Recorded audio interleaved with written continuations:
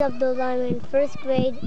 Uh, today I saw a lot of goats. I saw one cow. I saw I played in the sand.